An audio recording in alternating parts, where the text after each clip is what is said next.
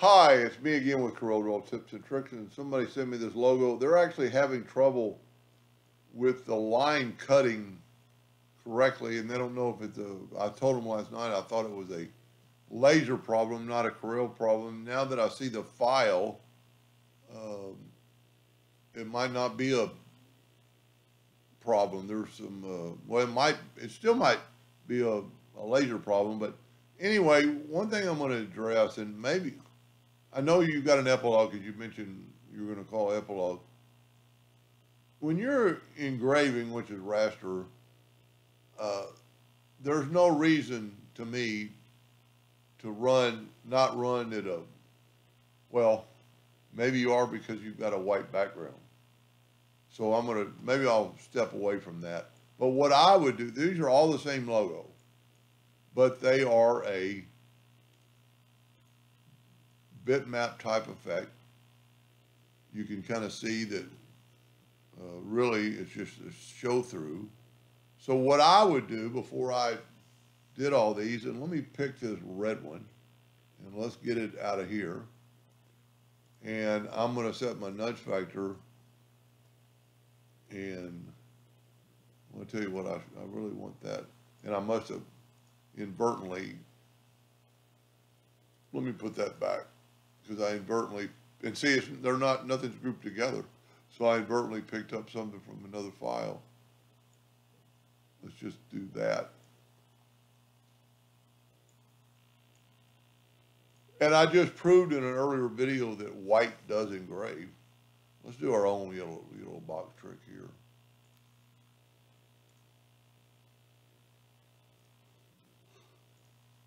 See, that might be your problem because the circle of the bitmap down here is really close.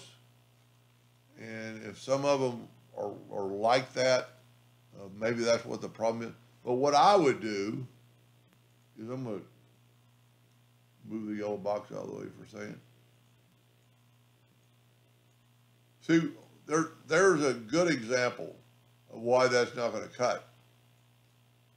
So maybe because it's something on top of it. So, and then it's not a perfect circle. So let's try this. Let's take this logo, and there's really nothing you can do with it. Uh, you know, it's made up of lines.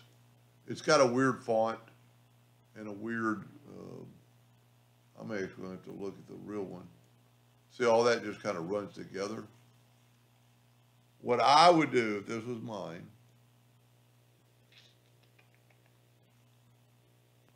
And so this is supposed to be white on or black on one side and white on the other. So what I'm going to do, we're talking less than two inches. I'm going to make my nudge factor to two. I would definitely think about changing your duplicate distance. And I'm going to nudge that out of the way. See, there's two sets of lines there. I don't see the reasoning for it. So I'm going to delete them right now. So this is supposed to be engraved and that's not. So I am going to take my, see, that's also a really, you know, they're just doing that for color. Let's change this to a hairline. And let's go ahead and change this to a hairline. Because all we want is a separation. Now, and I'm sorry if I'm, if I'm wrong. Uh, down the middle of this, should be no engraving because it's, so they don't really want that double line there. Um, you know what I'm going to do? I'm going to take that line and nudge it over, take that one and nudge it over. And here's, here's what I would do. I want that line between there, but I don't want it like that. So I'm going to take, and see they're not even the same size. Um, and I've got something right there as part of that. Let's go to object break curve apart and put that back. Part of the finger. This is 1.4939 tall. Let's make them the same. Let me see what this one is. 1439. one point four, one point four three nine. See, now they're the same size at least. Let's do this. Let's, uh, let's make one line out of that. And by doing that, I don't know what's gonna be the best way. I'm gonna take my nudge factor set on something really low. And I, if I'm doing something wrong, I truly apologize. So let's do that. Let's take this and break, cut one of the lines off. Now let's do this. Let's make this thing perfectly round with our ratio lot one point four four. Okay? But we have a line separation between them. Now, if you remember, we nudged so we could nudge, but I had it set on two inches. There's our, is the guy's hand, yeah, that guy's hand is outside the, the white. But it's really supposed to be black, so I think this is gonna work. Cause you really, there's no white black. So now let's take our smart fill tool and let's fill in these letters. It's gonna take some time, but you only have to do this once. And I don't understand, well, I do too. She's color mapping, so it doesn't have to go all the way across the bed. Um, but once you got this, you could change the color also. I'm thinking. So this side wants to be black. So now we're gonna get a smart fill tool and fill that in. So that's perfect.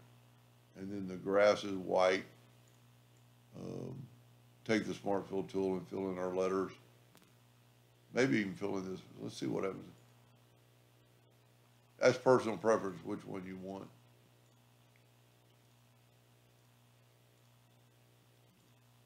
Now we're gonna go in and, and fill in these letters. I'm gonna zoom in.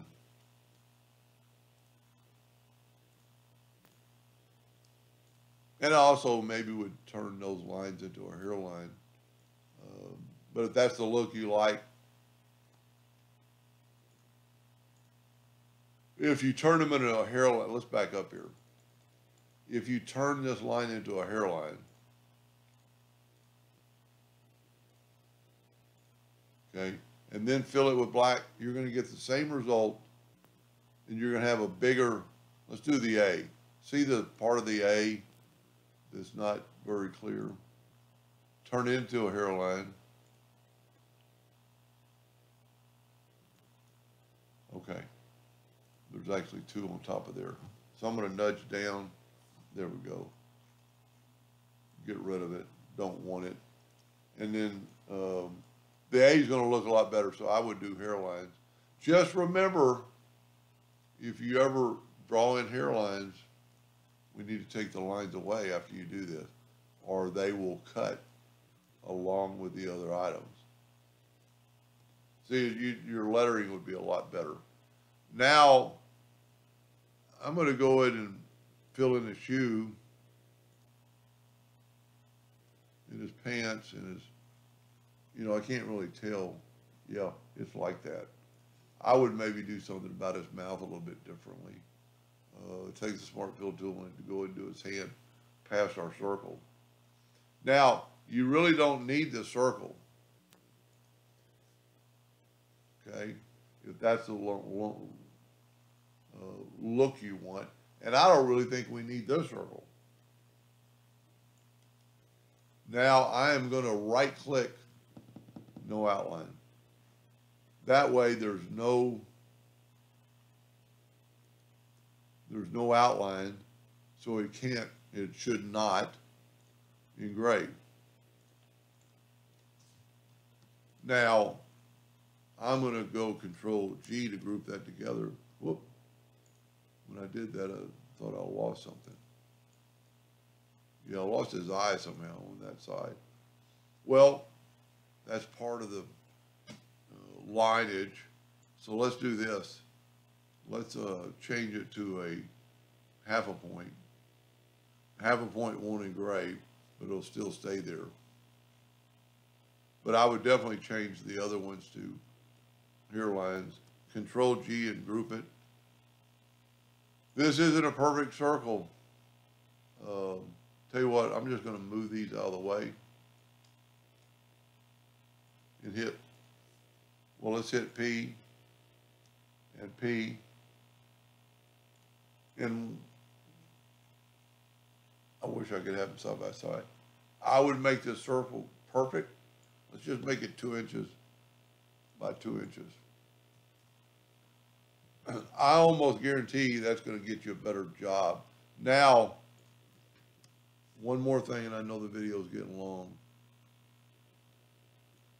I would, before I did anything, I would go to Windows, Dockers, Objects, and look at all these curves and click on that outer ring. You see it's way down there, and I would move it all the way to the top because that's your cut line, and you'd want it to cut out last. Oh, maybe it wasn't. Let me tell you what. Let's. It was picking up everything on the page.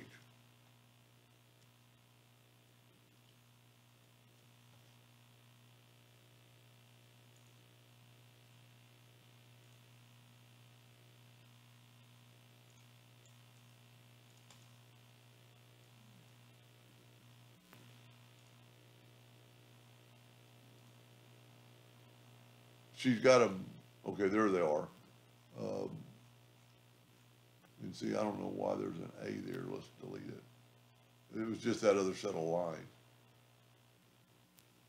But I'd make sure my cut line is in that same layer and have it go all the way to the top. Well, you know, not, never mind on this, I forgot. There's, there should be no lines in there. Uh, because of the fact that we've erased them all, so it doesn't really matter what order it does it in. Now, what did I do with my circle? Sorry if I'm a little bit off tonight. Uh, had a long day, but I love, I truly love helping people. Now, color mapping, just real quick. Um, you know, something like this, I don't think color mapping is going to help you because they're all going to be, so we got two inches, I want to set to a nudge factor on point um, two point zero five. Control D and make a duplicate. So here we go. Zero, set this to zero, zero, please.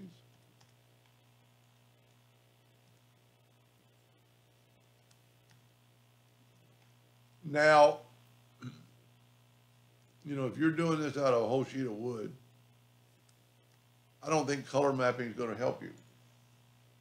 Cause it's still, it's gonna, matter of fact, it, color mapping might even slow you down. It'd be a neat test to do. Cause when the laser's going, it'll actually go past before it comes back, back and forth.